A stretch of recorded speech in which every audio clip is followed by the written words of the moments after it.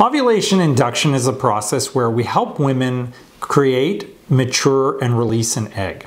Normally, your body should be doing this on its own, but in some instances it doesn't. For example, women with polycystic ovarian syndrome. Their periods can be quite irregular because they're not producing an egg on a regular basis, or at least it's not maturing and releasing.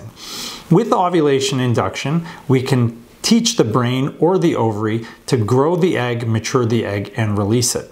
Under normal circumstances, the brain sends a signal to the ovary to grow the egg, and then the egg grows, estrogen goes back to the brain, the brain recognizes that the level is high enough, and then sends the signal to release the egg. The ovary releases the egg, and you then have the opportunity to conceive. We can mimic that process by using various medications and treatments to help stimulate that same natural process by getting your brain to send the appropriate signal and grow the egg in the ovary.